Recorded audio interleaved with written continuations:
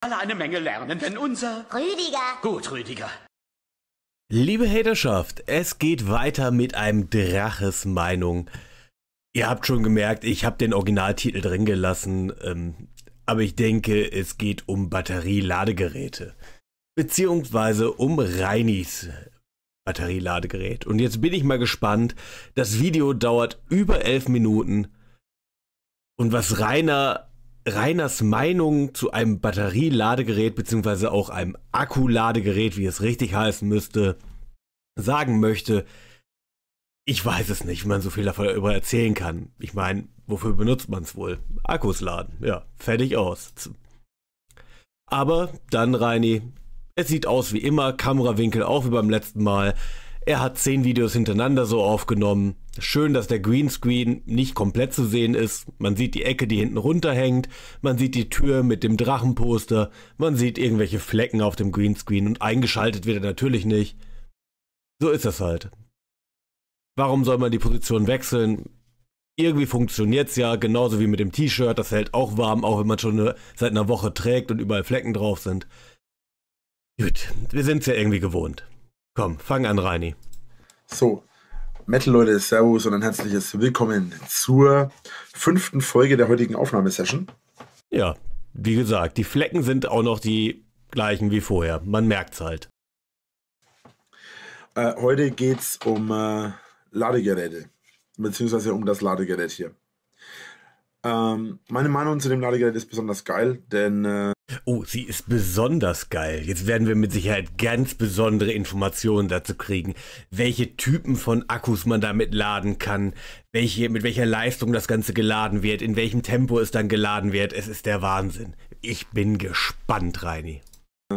äh, dieses Ladegerät ist fast so alt wie ich.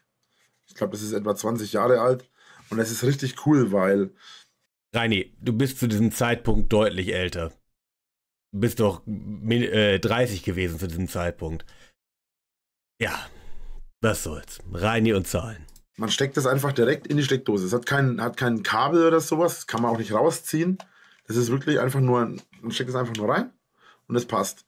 Und das Coole ist, es hat Funktionen für drei verschiedene Batterien. Man kann die äh, drei, viereckigen Batterien reinstecken, die 9 Volt Batterien, glaube ich, sind es. Er hat recht, es sind die 9-Volt-Batterien. Es ist der Wahnsinn. Er kann das. Er, als wenn er sich schlau gemacht hätte. Es, es ist der Hammer. Ich hätte es nicht erwartet. Dann kann man die äh, A3 und die A2 Batterien aufladen. Gut, da war ein kleines Bäuerchen äh, mit drin, aber so im Großen und Ganzen die 2A und die 3A Batterien, ja. Es ist, es ist fantastisch. Also, man könnte meinen, man lernt etwas dabei. Die erste Minute ist rum und äh, gut, das sollte auch jeder andere eigentlich wissen und was ein Akkuladegerät ist und dass es Modelle gibt, die man direkt in die Steckdose steckt und welche mit Kabel. Wirklich was Neues ist natürlich nicht dabei. Aber verglichen mit den anderen Meinungsvideos, der Hammer. Wobei ich gar nicht weiß, ob man nicht sogar. Aha. Ah ja, hier. Äh, die Doppel-A-Batterien kann man aufladen, die 3x-A-Batterien kann man aufladen und die 9-Volt-Batterien kann man aufladen. Genau. Mein, ähm, Reini, das ist super, das hast du uns gerade auch schon erzählt, aber warum hast du dir das nicht mal vorher durchgelesen, was da drauf steht? Das wäre jetzt für den Zuschauer wesentlich interessanter, als wenn du dir das für dich selber jetzt durchliest, was natürlich auch ein bisschen Zeit in Anspruch nimmt und wir dir beim Rattern in der Birne zuschauen dürfen.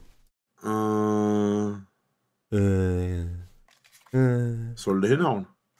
Ist auf jeden Fall ziemlich cool, weil ich habe dieses Ladegerät habe ich früher so viel benutzt. Ich hatte das in der Schule dabei. Ich hatte das eigentlich das Ladegerät von meiner Mutter. Ja, dann hoff mal, dass sie sich nicht diese Videos anschaut und irgendwann noch ihr Ladegerät zurückverlangt. Ich meine, du hast ja schon ihr Haus besetzt. Ich habe das damals äh, so viel benutzt, dass ich das irgendwann, keine Ahnung, die hat das irgendwann mir das einfach gegeben und gesagt, hier hast du, lass mich in Ruhe, weil ich ständig nach Batterien gefragt habe. Und seitdem habe ich dieses Ladegerät ähm, und benutze es auch dauernd. Das war zwischendurch, war es dann mal bei meiner Schwester, das hat dann meine Schwester ein paar Jahre lang benutzt. Und dann, äh, ja, als meine Mutter und meine Schwester weg waren, habe ich es dann plötzlich selber gehabt wieder, weil es halt noch da war. Und ja, ich habe das, ich weiß gar nicht, ich habe das so viel benutzt. Äh, für Doppel A, für Doppel, äh, für Dreifach A Batterien, für 9 Volt habe ich eigentlich nie groß benutzt. Die 9 Volt Batterien haben für mich eigentlich nur einen Sinn ergeben. Lass mich raten, es war eine Vernunftentscheidung, du hast Rauchmelder in deiner Bude eingebaut. Nur ein Scherz, Reini. War klar, dass du das nicht machst. Du hast keine Rauchmelder da. Du musst da mal ab und zu Akkus tauschen, das wäre harte Arbeit und Arbeit wird vermieden. Und zwar, ich weiß nicht, ob ihr das noch kennt, diese ferngesteuerten Autos von früher, die man hatte, ne? Die gibt es ja mit Sicherheit oder auch noch oder ähnliche. Aber bei, den, bei denen war es damals so, dass das, die Fernsteuerung von den damaligen ferngesteuerten Autos, da musste man tatsächlich äh, hinten eine 9-Volt-Batterie reinmachen. Und das war damals ein bisschen problematisch, weil eine 9-Volt-Batterie war nichts, was man so handelsüblich die ganze Zeit einfach zu Hause hatte.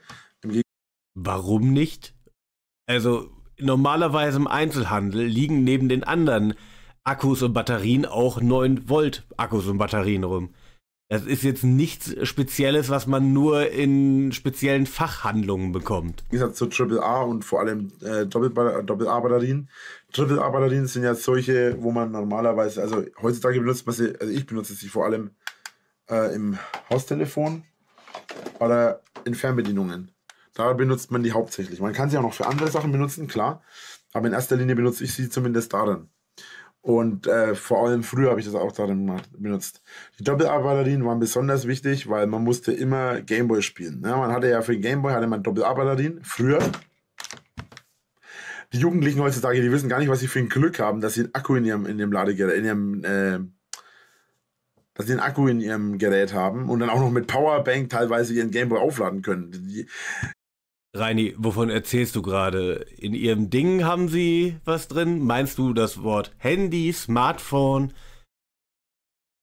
Du hast es gerade Nintendo genannt, aber ja, bist anscheinend wieder ein bisschen daneben, hast dir keine Gedanken vorher gemacht, wie immer bei diesen Videos.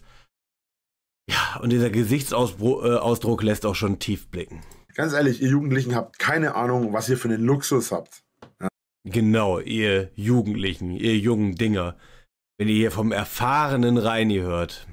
Ja, bei uns musste man noch die Batterien in ein Ladegerät stecken, wenn man überhaupt welche hatte, die man aufladen konnte. Man kann nicht. Ja, Reini, Akkus halt, keine Batterien. Alle Batterien aufladen oder man sollte nicht alle Batterien aufladen.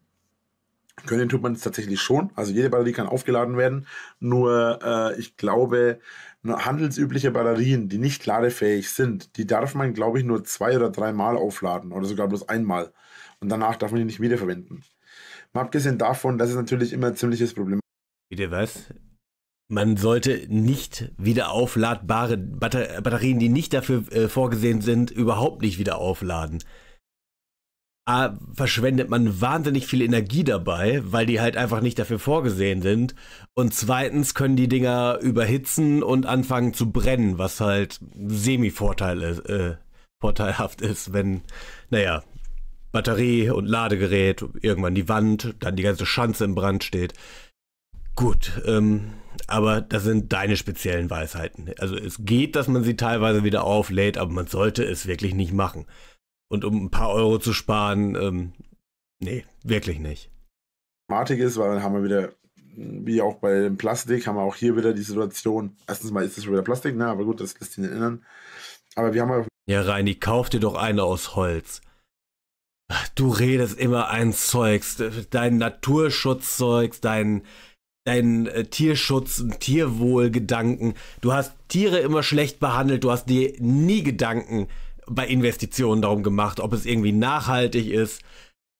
Und du hast den letzten billigen Fleischabfall in dich reingestopft, den es überhaupt im Handel gibt. Es war dir immer völlig egal. Es ist wie immer, es geht nur um dich und dein Wohlbefinden wie beim Plastik äh, wieder die gleiche Situation bei Batterien. Batterien sind schädlich für die Umwelt und zwar nicht zu knapp. Ja, die Batteriesäure, die darin ist, ist definitiv nicht gesund und ätzend. Ja, Reini, du sollst die auch nicht trinken. Es gibt halt Geräte, da packt man besser Batterien rein, äh, weil es Geräte gibt, die sehr lange Betriebszeiten haben, aber ganz schwache Ströme brauchen.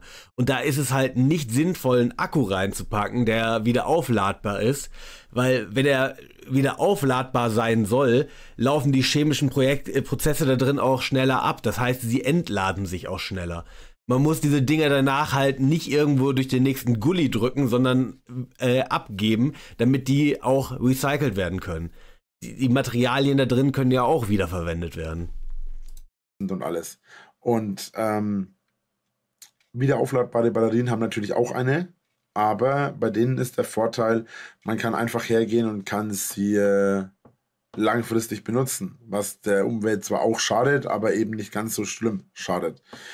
Wobei äh, ich mal gehört habe, ob das richtig ist oder nicht, weiß ich nicht, dass wiederaufladbare, ba wiederaufladbare Batterien tatsächlich schlimmer sein sollen als normale Batterien. Ja, wie gesagt, ja, und Reini, du hast das mal gehört. Hast du mal recherchiert, woran das denn liegen könnte? Dass da zum Beispiel andere Materialien drin sind, wie Lithium, was vor allem früher problematisch war, weil man sehr viel Wasser dafür brauchte, um äh, Lithium aus den Gesteinen rauszuschwemmen. Zum Beispiel sowas, nö. Du behauptest einfach irgendwas, lässt das mal im Raum stehen. Ja, wird stimmen oder auch nicht, völlig egal, ist Content. Heutzutage besitzt ihr echt Luxus, dass ihr sowas habt. Wir haben sowas nicht. Und. Wie? Ihr habt sowas nicht? Ah, da sitzt nur du und wenn du von der Vergangenheit sprichst, du hast doch gerade erzählt, dass das Ding bei deiner Mutter gehörte. Ihr hattet so ein Teil. Was nu? Sind da wieder Haters? Böse Hater oder was ist da los? Fliegenschwaben, Ratten übernehmen das Haus. Ist irgendwie ein Müllberg umgekippt? Sag es uns. Reini, du bist mitten im Video. Es, kann doch nicht dein Ernst sein. Ich meine, es kann irgendwas mal passieren, es klingelt wer an der Tür oder sonst irgendwas, aber dann schneidet man das Ganze raus und hier wird einfach jeder Müll drin gelassen. Oder ist es ein Schlaganfall? Habe gerade was überlegt. Ähm, Ah, wahrscheinlich. Wir hatten sowas damals nicht. Sowas wie aufladbare Batterien hatten wir, ja. Aber wir hatten sowas wie ein Lade. Aber ihr hattet kein Ladegerät dafür. Das ist natürlich auch clever. Man kauft die teuren Akkus und äh, kein Ladegerät.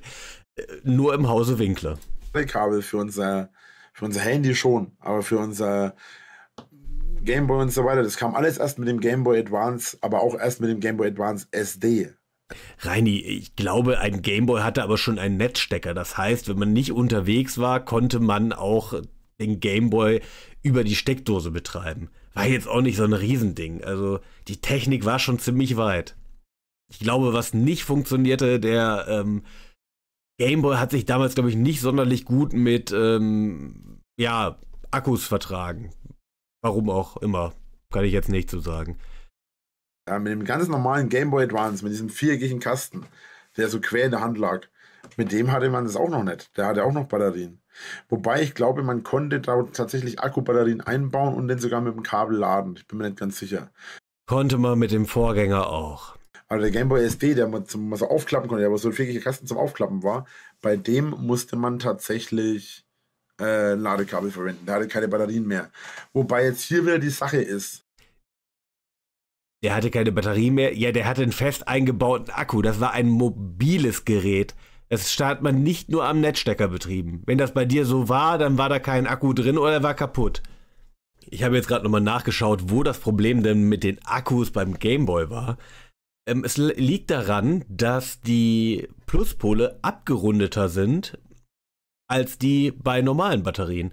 Und deswegen bestand teilweise kein Kontakt und der Stromkreis war unterbrochen. Da hat sich das Gerät natürlich kurz abgeschaltet. Okay, wieder was dazugelernt. Es liegt an der Form. Für uns damals, wir hatten ja sowas wie eine Powerbank auch noch nicht. Heutzutage haben viele Kids einfach eine Powerbank für ihr Handy oder für ihr, für ihr, für ihr Gameboy oder sonst was. Wobei Gameboys, glaube ich, am Aussterben sind, weil man Handys heutzutage hat. Aber ähm, viele, viele Gameboys waren damals halt so, du bist auf dem Heimweg von der Schule. Du hattest in der Schule kein Ladekabel für deinen Gameboy dabei. Das heißt, du konntest ihn in der Schule nirgendwo ranhängen. Oh, das muss ja furchtbar gewesen sein. Man konnte nicht die ganze Zeit Gameboy spielen. Weder. Man muss sich das mal vorstellen, da hat man sich teilweise mit seinen Mitschülern unterhalten müssen. Was für eine widerliche Situation das gewesen sein muss. Man musste soziale Kontakte aufbauen, musste sie pflegen. Ja, grausam, Reini. Ja, hättest du das mal gemacht, wärst du vielleicht sozial kompetenter geworden, hättest du ein angenehmeres Leben gehabt. Also, naja, Ich habe auch viel Skat gekloppt auf der Hin- und Rückfahrt zu, äh, zur Schule. Hat auch immer Laune gemacht. Pech. Weil du gehst nämlich dann auf dem Heimweg. Ich hatte zum Beispiel eine Stunde, musste ich mit dem, mit dem Bus fahren, dass ich zu Hause bin. Oder anderthalb Stunden mit dem Zug, je nachdem. Und ähm, dann habe ich die A-Karte gezogen. Ich habe eine dicke A-Karte gezogen, weil ich konnte mein Tablet, ich konnte nicht, ich konnte kein Gameboy spielen, weil wenn der Gameboy leer war, war er leer. Und sowas wie eine Powerbank gab es damals nicht. Ja, hättest du dir mal ein Buch mitgenommen? Irgendwas Interessantes? Hättest du denn noch die letzten paar Minuten was lesen können? Lesen bildet Gameboy spielen jetzt nicht so wirklich. Ja, Reini, und das ist natürlich eine Riesenkatastrophe, wenn die Akkus oder die Batterien beim Gameboy leer sind. Und selbst wenn es eine gegeben hätte, heutzutage, ich glaube, heutzutage geht es, weil man heutzutage USB-Anschlüsse für alles hat, auch für Gameboys. Aber äh, damals war es das so, dass die Gameboys einen speziellen Anschluss hatten und selbst wenn man eine Powerbank dabei gehabt hätte, hätte man nicht laden können, weil man hätte nämlich keinen Anschluss für die Powerbank gehabt. Ich weiß nicht, ob die Gameboys heute anders aussehen oder ob die heute tatsächlich Ladekabel mit USB-Anschluss haben, das weiß ich nicht. Aber früher war das eine echte A-Karte. Weil bei den Gameboys mit Batterien, da hast du einfach zwei, drei Päckchen Batterien mitgenommen. Ich zum Beispiel, ich bin äh, einmal, zweimal die Woche in den Laden gegangen. Ich persönlich bin ein, zweimal die Woche in den Laden gegangen und habe mir einfach Batterien geholt. Äh, also habe mir so ein, so ein 10er-Pack Batterien geholt, ein, einmal die Woche oder so oder einmal alle zwei Wochen. Und dann hatte ich halt Batterien dabei. Und ja, das war jetzt ziemlich praktisch, weil ich auf die Art und Weise die Möglichkeit hatte, jederzeit halt Batterien auszutauschen. Also bin ich da immer ein bisschen so der Meinung, lade Batterien oder Akku. Es ist eigentlich immer eine schwierige Sache, weil. Reini, was machst du da? Was tippst du da schon wieder auf deiner Tastatur rum? Du nimmst gerade ein Video auf. Könntest dich ein bisschen konzentrieren, oder? Es ist ja angeblich deine harte Arbeit, was du hier machst. Naja. Ja, okay. Er ist weg, er, er muss irgendwas notieren. Es ist irgendwas anscheinend für ihn wichtiger, als ähm, Videos zu machen. Keine Ahnung, ob er sich wieder einbildet, äh, dass Hater da sind. Also seinen Kontrollblick ähm, zu seinem Bildschirm, wo die Kameras äh, angezeigt werden, das Bild der Kameras. Das habe ich jetzt noch nicht gesehen, deswegen ich weiß nicht, was er da macht. Weiß nicht, was ihm eingefallen ist. Es ist immer eine schwierige Sache, weil man äh, die Batterien halt lässig austauschen kann. Akku hat man selten einen Ersatzakku dabei. Vor allem bei den SD Gameboys, ich weiß nicht, wie es bei den anderen Advance, ich glaube bei Advance war es auch so, äh, die sind hinten verschraubt. Das heißt, man musste auch noch einen Schraubenzieher, hätte man auch noch mitnehmen müssen, wenn man mehrere hatte. Naja, ähm, meine Meinung zum Ladegerät. Äh, dieses Ladegerät hat sehr viel, sehr viel überlebt. Ich weiß gar nicht, was ich mit diesem Ladegerät alles angestellt habe. Es ist mal Reini, das möchten wir gar nicht wissen. Ich habe noch nie jemanden äh, gehört, der gesagt hat, dass ein Ladegerät viel erlebt hat. Aber du machst halt auch Dinge mit Objekten. Äh, das ist unaussprechlich. Gegen die Wand geflogen, weil ich immer äh, angepisst war. Es ist mal. Ja gut, das kann ich mir auch vorstellen. Wir wissen ja auch, dass du keinen Spiegel mehr in, in deinem Haus hattest, ähm, der nicht zer, äh, zerbrochen war, weil du sie halt in deiner Wut zerschlagen hast. Genauso wie Scheiben in deinem Haus. Ja. Was nur?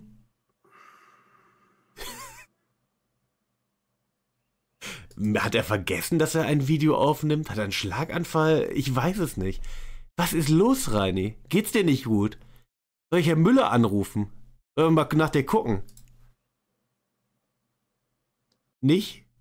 Hast du deswegen gerade mit dem Kopf geschüttelt?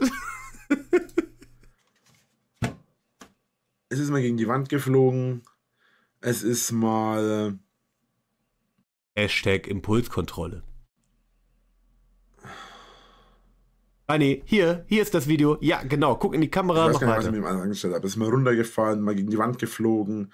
Ja, erstes ist mal normal, es fällt schon mal was runter, aber dass man was aus Wut gegen die Wand schmeißt, so ein Ladegerät. Schwierig, Reini. Dann sollte man sich mal hinterfragen, runterkommen und gucken, dass man irgendwie wie ein normaler Mensch reagiert. Äh, es ist mal aus dem Fenster geflogen. Okay, jetzt wird's komplett wild. Allerdings war es unabsichtlich. Ähm, Okay, Reini, die Story würde ich jetzt gerne hören. Wie schafft man es, dass ein Akkuladegerät aus Versehen aus dem Fenster fliegt? Wolltest du es gegen die Wand werfen und hast einfach aufgrund deiner schlechten Wurftechnik äh, das Ding durch die Scheibe gefeuert? Mein Zutrauen würde ich dir. Gut, wir haben gesehen, wie du Sachen wirst, sonderlich hart wirst du nicht, wäre wahrscheinlich selbst von einer einfach verglasten Scheibe abgeprallt. und ähnliche Aktionen. Also es ist wirklich, wirklich, wirklich viel Mist schon passiert mit diesem Zeug. Und äh, ich weiß auch gar nicht, ehrlich gesagt, was ich da noch alles zu machen soll. Also äh, Ladegeräte sind natürlich praktisch, waren es damals, sind es heute. Du weißt nicht, was du dazu machen sollst. Du machst immer bei diesen Meinungsvideos irgendwas. Du erzählst irgendwelchen wilden, unsinnigen Stories, hast keine Ahnung von diesen Geräten. Also diesmal hast du ja schon äh, gewusst, dass man damit tatsächlich Akkus aufladen kann äh, und welche Typen davon. Das war ja wesentlich mehr, als du in anderen Videos gemacht hast. Aber jetzt gerade stehen anscheinend wieder Hater vor der Tür. Reidi ist völlig paranoid, muss die ganze Zeit in die Kameras gucken, muss seine Show abziehen, muss natürlich notieren. Zwei Leute plus ein Hund gehen über die Straße. Äh, das muss notiert werden, das muss Herr Müller und das Gericht erfahren. weil man halt die Batterien dafür wieder verwenden kann und es auch ein bisschen umweltfreundlicher ist, glaube ich, als jetzt zum Beispiel äh, Batterien direkt wegzuschmeißen. Zumal man heutzutage ja Batterien, äh, äh, wenn man wegschmeißt, muss man immer schauen, dass man dann immer Sondermüllentsorgung macht, weil Batterien sind eben Batterien. Eine Sondermüllentsorgung. Reini, lässt du da einen speziellen Entsorger zu dir kommen, der deine Batterien dann abholt? In jedem Supermarkt gibt es normalerweise eine Kiste, wo man seine alten Batterien entsorgen kann. Wusstest du das nicht? Ist das neu für dich? Hat dir das nie jemand beigebracht? Also, das fände ich schon schade. Und wieder aufladbare Sachen sind dann doch schon ziemlich praktisch, weil die zumindest langfristig ein bisschen halten. Gut, tut mir leid, dass ich euch jetzt das Ohr so lange abkaue und schon wieder abgelenkt bin durch diese ganzen Vollhongs. Danke euch fürs Zuschauen. Ich hoffe, ihr seid im nächsten Video mit dabei. Das ist zum Beispiel das, was ich meine. Ne? Ich kann kein Video ohne Hater machen, weil alle fünf Sekunden irgendwelche Vollpfosten vor meiner Tür stehen. Und ich sitze hier und mache meine Videos und laber über mein Zeug und alles. Und dann heißt es immer, ja, geh mal arbeiten. Ja, geh mal arbeiten. Ja, wo ist denn dein, dein Problem? Dann würde auch deine Paranoia mal abnehmen, weil du das dann gar nicht mehr mitkriegen würdest. Oder schalt wenigstens mal deine Kameras aus und guck nicht so komisch. Nächster Schlaganfall? Ja, anscheinend. Wir haben 14.04 Uhr aktuell. Und die Ja. Leute stehen vor meiner Haustür. Ja, und? Und Schule ich ist zu Ende? und mache meine Videos. Ja. Die Leute sind wahrscheinlich gerade aus der Schule gekommen oder haben Urlaub oder hatten, weiß ich nicht, Nachtschicht. Ja, und du sitzt da und hast halt keine Arbeit, sondern machst lustlos irgendwelche schlechten Videos. Richtig. Geh arbeiten. Und ich soll arbeiten gehen. Ja. Wo ich fast das Dreifache verdiene wie deine ihre Eltern. Wie beide. Reini, Reini, du hast die meiste Zeit deines Lebens nicht sonderlich gut verdient. Du hast auch immer mehr ausgegeben, als du verdient hast. Das ist nun mal der nächste Punkt. Und woher willst du wissen, dass, wie viel Geld andere Leute verdienen? Und guck schon, ach meine Güte, was ist mit diesem Gesicht? Naja. Ja. Ziemlich dumm. Ja, Reini, es ist eine komplett hohle Aussage. Wenn du keine Ahnung hast, was andere Menschen für Geld äh, verdienen, dass du behauptest, du verdienst mehr. Es ist komplett hohl. Gut, Leute. Danke euch fürs Zuschauen. Wir sehen uns in der nächsten Folge. In der nächsten Folge wird es witzig. Oder es kommt darauf an, ob ihr es witzig findet. Ja, wahrscheinlich nicht. Du bist immer der Einzige, der äh, deine Witze lustig findet. Ich hoffe, es geht nicht um Luan. Es geht nämlich darum. Äh, Geschirrtücher, beziehungsweise Geschirrtücher, Handtücher, Badetücher. Ich habe noch nie so gelacht, Reini. Ich habe noch nie so gelacht wie jetzt gerade. Das ist so dermaßen witzig. Danke fürs Zuschauen, bis zum nächsten Mal. Und ich werde jetzt mal gucken, ob ich den Hatern da mal ein paar auf die Lichter haue, damit endlich Ruhe ist und ich in Ruhe weiter aufnehmen kann, weil alle fünf Sekunden irgendjemand anderes angeschissen kommt. Polizei war zwar schon da, aber irgendwie haben die Leute zu viel Freizeit. Was weiß ich. Haut rein, euer Drache und tschö tschö.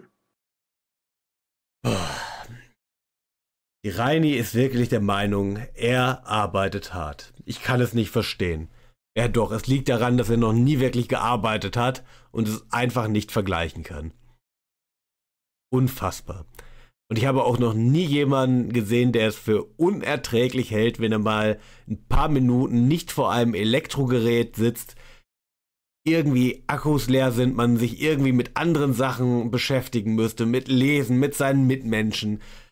Halt normale Dinge, die normale Menschen machen. Für Reini unvorstellbar. Reini wirft lieber sein Akkuladegerät gegen die Wand oder es fällt aus dem Fenster zufälligerweise. Es ist echt der Hammer, was man für Geschichten von ihm erfährt. Gut, wir sind durch. Ich hoffe, es hat euch gefallen. Lasst ein Like gerne da, wenn dem so ist.